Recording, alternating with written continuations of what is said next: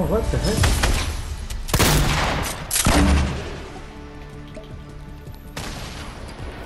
What the...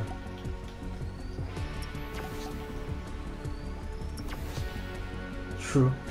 well, that was an alternative event. Oh man.